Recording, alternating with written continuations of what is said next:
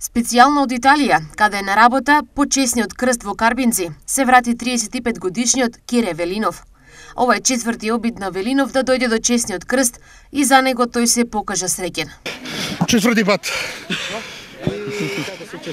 Многу добро, вау. Нека за многу години празнико, да сите на помош нека. Поздрав од мене тоа. Хвала.